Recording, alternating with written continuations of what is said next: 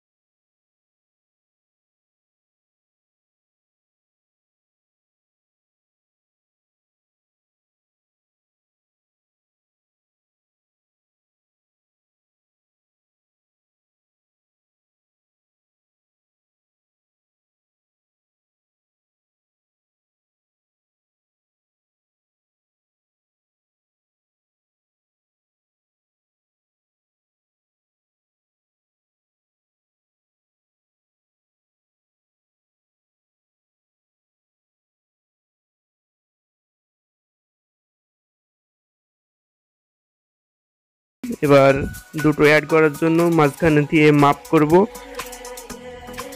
তো বন্ধুরা, এবার দেখতে পাচ্ছেন, আমরা রান্নাঘরের লাইনটির জন্য একটি এলবো দিয়ে উপর চুমু তুলে রাখব। রান্নাঘরের পাইপটি আমরা সরাসরি লং পাইপ আখড়া একটি পাইপ প্রবেশ করায় নিচ্ছি। এরপরে পাইপটি নিয়ে একটি এলবো দিলাম, ওটা আঠা দিয়ে জয়েন করে দেব, তাহলে আমাদের সিঙ্কের লাইনটি সরাসরি চলে আসবে আমাদের বেসিংয়ের কাছে। এবার আমরা বেসিংয়ের লাইন যাওয়ার জন্য একটি টি সেট করে নিচ্ছি। তো বন্ধুরা দেখতে থাকুন, কীভাবে আমরা সেট করছি আঠা দিয়ে সুন্দর করে লাগায়ে একটু হাত দিয়ে বাড়ি দিলে সম্পূর্ণ পাইপের ভিতরে চলে যাচ্ছে। তো আমরা এটা নিচে আছে উপর পর্যন্ত মাপ নিয়ে একটি ছোট পাইপ লাগাই দেব। ঢালার সময় ঢালাই পাইপের ভিতরে না ঢুকতে পারে। এবার আমরা একটি পাইপ কেটে নিলাম। সুন্দর করে পাইপটা কাটছি। কেটে টিয়ের সাথে জুড়ে দেব।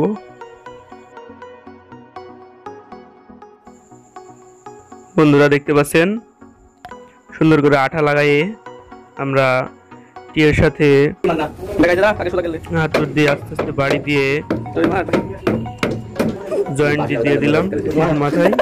তো আমরা সিঙ্কের মাথাটি এবার এলবো নিয়ে একটি মাপ নিয়ে মাপ নিয়ে আঠা দিয়ে এলবোর সাথে সংযুক্ত করে দিব। তো বন্ধুরা দেখতেই পাচ্ছেন কীভাবে আমরা কাজগুলি করছি। ভিডিওটি ভালো লাগলে অবশ্যই একটি লাইক দিয়ে শেয়ার করে দিবেন। তো বন্ধুরা দেখতে পাচ্ছেন, আমরা সিঙ্কের এলবোর সাথে জুড়ে দিলাম। এবার উপরে একটু শর্ট পাইপ একটু মাপ নিয়ে বিমের উপর পর্যন্ত তুলে রাখব, ঢালাইয়ে ঢেকে যেন না যায়। বন্ধুরা দেখতে পাচ্ছেন, আমরা পাইপটি সুন্দর করে কেটে এবার আঠা দিয়ে এলবোর সাথে লাগাবো।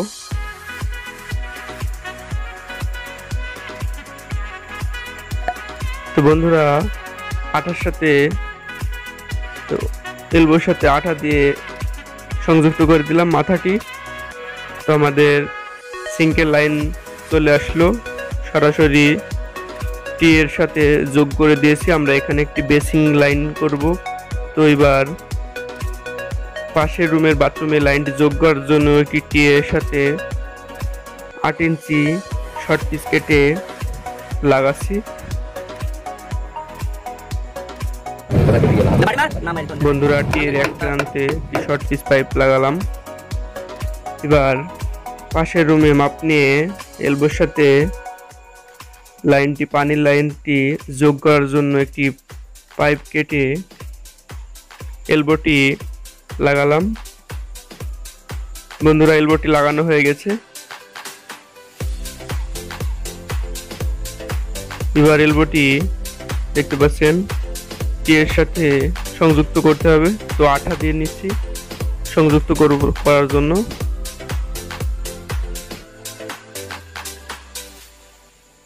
বন্ধুরা, ভালোভাবে আমরা সংযুক্ত করে দিলাম। এবার আমরা বেসিংয়ের টিয়ের কাছে আমরা আঠা না লাগিয়ে সোজাভাবে রেখেছিলাম। তো এবার আঠা দিয়ে ওটাও টিয়ের পাশটাও জোড়া দিয়ে দেব, আটা দিয়ে। ভালোভাবে আঠা লাগাই নিলাম। এরপরে একসাথে সংযুক্ত করে দিচ্ছি বা জোড়া দিয়ে নিলাম।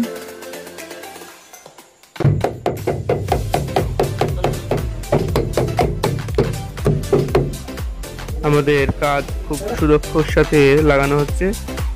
সোজা দিলে আমরা পাইপটি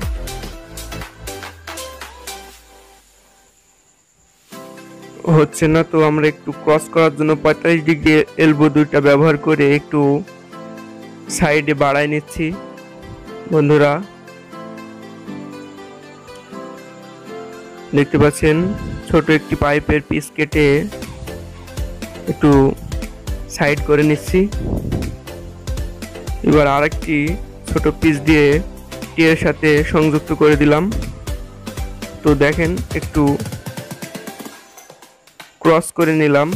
পাইপটি একটু নিচ দিকে চাপ দিয়ে নিব যেন পানিটি যেতে সুবিধা হয়।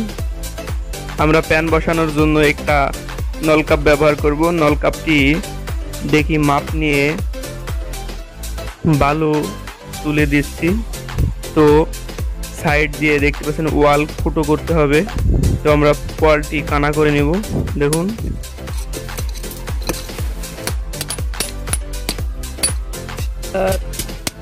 সমান আছে খেলা ফেলছি।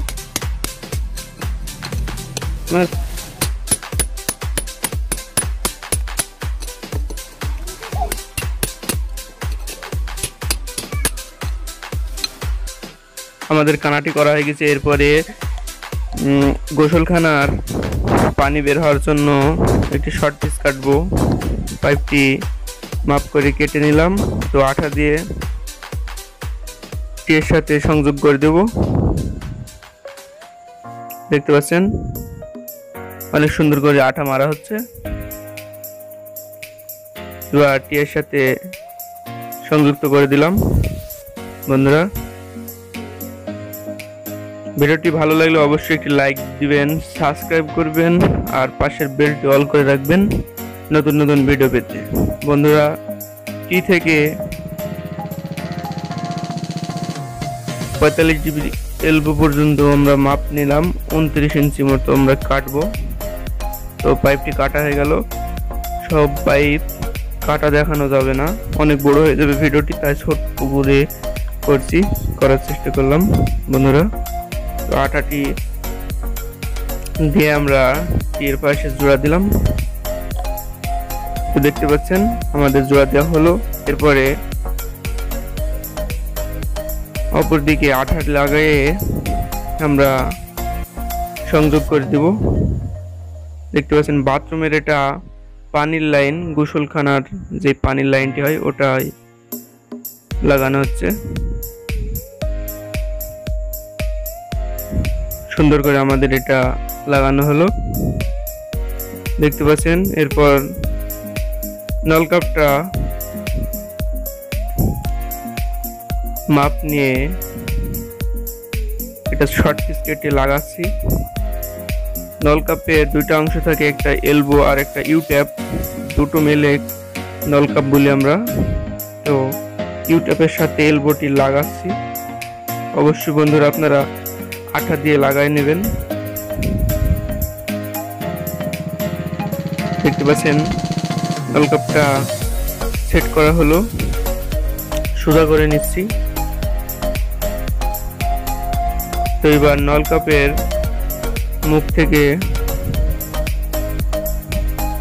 বার পর্যন্ত একটি মাপ নিয়ে আমরা লাগিয়ে দিলাম। বন্ধুরা সন্ধ্যা হয়ে গেছিল তাই আমরা এটা দেখাতে পারিনি লাগানো হয়ে গেল। এবার আমরা পানি দিয়ে টেস্ট করে নেব পানি কি ভিতরে জমছে না বের হয়ে যাচ্ছে তো দেখতে থাকুন। অবশ্যই বাইরের সাইড একটু দুই ইঞ্চি মতো নিচ করব, তাহলে গান পানিটি বের হবে। দেখছেন, সুন্দরভাবে পানিগুলো আউট হচ্ছে। এভাবে আমরা কাজগুলো করব।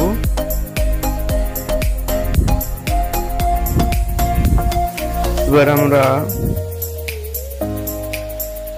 মাটি ফেলে দেব বা বালু দিয়ে পাইপগুলো ভরাট করে দেব।